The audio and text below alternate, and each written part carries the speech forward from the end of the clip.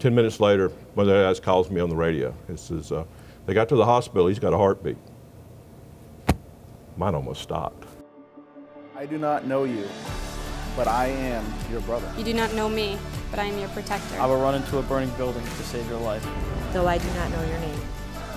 I will take a bullet for you. though we've never met. I believe in duty and sacrifice of self. Self. Your Your family, family is my family. is my family. Your life is my duty.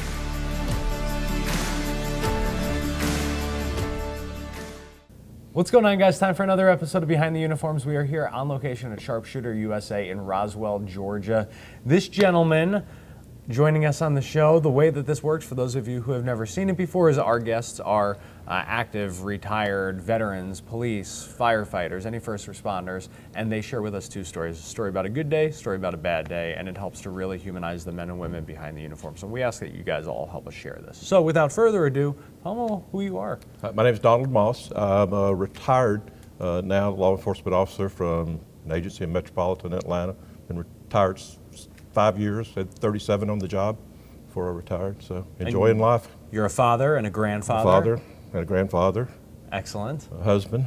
Excellent. Yeah. So tell me, uh, where do you want to start? High or low? Good day or Uh, bad day? start low, end on a high, end on a high note. Excellent. Um, I, asked if it's okay to do another kid story, but I, I think that uh, the cops remember kid stuff because we got, I think we have a tender spot for, for kids and we remember stories with those. So, so I'll start low. Uh, back all the way back in 1984 shows how long I've been been on the job. But uh, which a call that started with a missing uh, child, a boy about 11 years old that was missing from an apartment complex.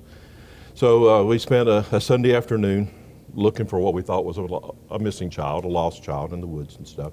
No luck on Sunday. We spent a whole day on Monday looking for a, a child you know, that we thought was wandering in the woods lost. And by Tuesday, um, the focus had changed a little bit because you know we haven't had found this child. So we're doing doing a search of an area close to where he where he lived, a section of woods, and I came upon a, a place that just looked disturbed in the in the uh, in the woods there, and uh, rolled over a uh, a log that was there and brushed back a pile of leaves. And when I did, I uncovered his leg from his knee to to his hip. Oh Uh, and found where he you know he turned out he'd been murdered, and uh, and his body had been been hidden there within 100 yards of where actually where his parents lived, uh, where, where he lived. Uh, so, uh, so yeah, a hard, a hard day. Uh, Were you guys able to catch who did it? they figured out who did it at a, at a later point. Um, I, I don't think the, the guy was ever charged. He was in, he was actually imprisoned for another similar case, a kidnapping, where the child actually got away, uh, and he went went to prison for that. But there was, you know, a lot of years transpired in in the time in the time there. So, uh, you know, it's hard sometimes, you know, these old cases to go back and make them. But uh, but they did finally figure out who did it. I think so. You go home after a day like that and kiss your kids a little bit extra, hug them a little tighter. Oh, absolutely, absolutely. Um, but I think we compartmentalize. You know, you you, you get ready to, to, to leave, and you know it go, it goes into the work file. And um, there, I read a book several years ago. This guy was a detective in Knox County, Tennessee, and he wrote wrote this book. And, and in the book, he talks about ghosts, and uh, and and being able to close your eyes and see bodies and people from your, from your past. And when I read it start with, I thought, well, that's me. You know, I, I, I can do that. But then I, I realized that, that if I can close my eyes and I can bring them up and I can see them and I can remember them, then they're not going to jump out on me in the middle of the night when I'm not expecting them. You know, so it's it's not ghosts that haunt you. It's memories, things that you remember, uh, but it's it's not things that you know jump out in the middle of the night and scare you. You know that you that you got to deal with. So, so I, I think that's it. You just you compartmentalize it and you. Yeah. So tell me about a good day. Great day. A, a, a kid story again. 25 years later, uh, work, working the evening shift, and uh, and we get a call on a missing child in a subdivision. Uh, this kid's like two years old, and uh, he was out in the backyard with his family, and just they turned around and he was gone. And if you, you know, if some of you got kids, you know that can, you know, how fast that can happen.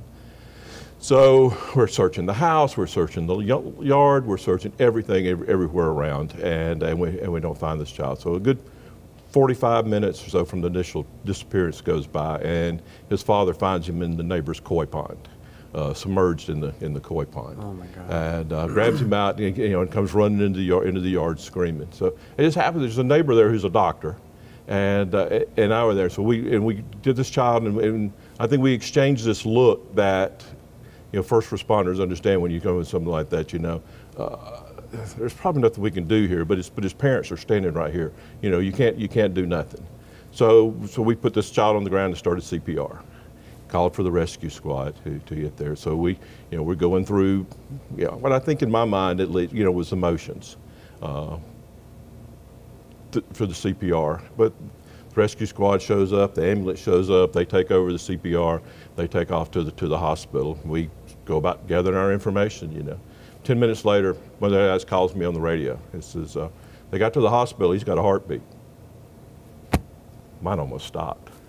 You know, but uh, I mean that's like, you know, all this weight just disappears. You know, from uh, from everything. So uh, it's not not often you get really really happy endings, and he survived. Wow. Um, you know, so, uh, you know, that Another was, that was, a, that was a good day. Yeah, that was a good story. That's awesome. ended. Yeah.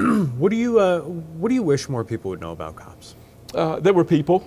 Um, you know, I, I think people see the uniform, and that's you know, and they they don't realize that there's you know a husband, a wife, a father, um, you know, a son, a daughter. That's you know that that put that. that They're, they're people from their community.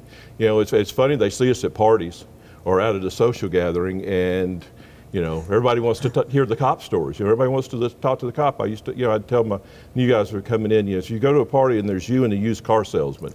You know, Uh, nobody wants to hear, the, you know, the story about the, you know, the, the 17-year-old car that somebody sold today. Yeah. You know, they want to hear, you know, the cop stories, and it's Yeah. just so you know, in that setting, everything's great, and then you put that uniform on, and they see you out in the, you know, in the world, and it's just, it's, it's a whole different, you know, they, they, they see you so much different. Is that they would see that same person that they see, you know, outside the uniform, they'd see that same person when uh, when they deal with us on the street, when they, you know, when they run into us. That, uh, Awesome.